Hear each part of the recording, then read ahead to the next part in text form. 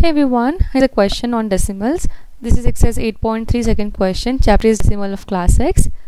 Rashid spent rupees 35.75 for maths books and uh, rupees 32.60 for science book. Find the total amount spent spent by Rashid. So he spent the money on maths book and the science book. We have to find out the total amount. So it's given the question for maths book he has spent 35.75 for science book he has spent 32.60 so let us write down that first. So cost of math book is rupees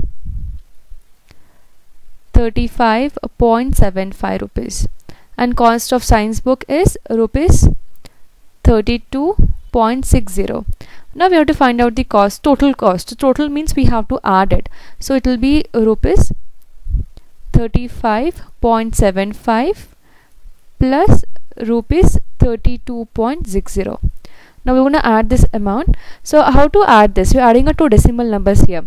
So we're going to use a line-up decimal method. So the first number here is so let me just rewrite this once again. So the first number we have here is 35.75 now in the line-up method we're gonna place the decimal one below the other. So we have a deci for second number we have a decimal here.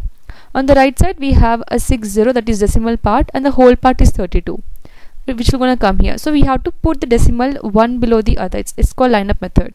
Now we're gonna add this. So 5 plus 0 is 5 6 plus 7 is 13 so 1 will be carry. So we have a decimal point will so decimal place a decimal point here. So 5 plus 2 is 7 7 plus 1 is 8 and 3 plus 3 is 6 so this is equal to the cost is rupees 68 68.35 rupees.